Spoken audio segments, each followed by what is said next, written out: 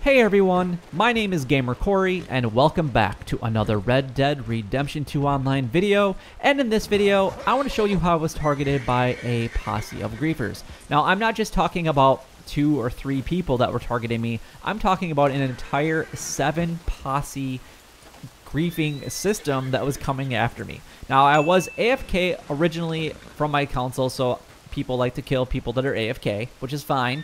And I don't know who actually killed me because in a little bit I actually go to the home screen so I couldn't capture who actually killed me because it didn't register in my video capture card. So I don't know who originally started this. All I know is that when I came back to my console, it was daytime, which you're going to see here in just a moment. And I could tell that there was this, the seven posse group around me and I was like, wait a second, well obviously somebody killed me because I wasn't here when I left the console. So I had to go ahead and pull up on my map here and I'm actually going to show you that in a little bit how many players and what their rankings are in the in the Red Dead Online. So I'm going to pull up my map here. I'm going to see where all the people are currently located and you can see they're at the taxidermist house.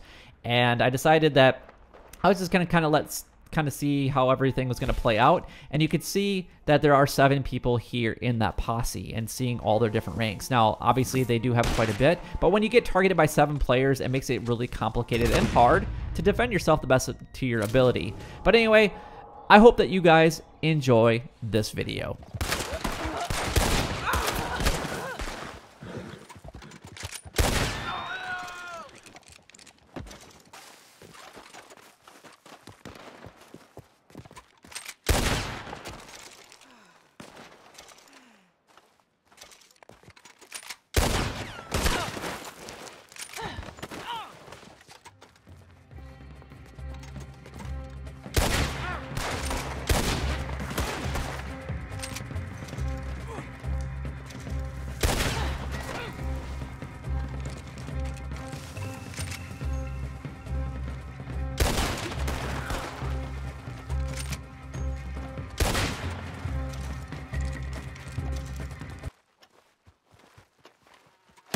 Uh.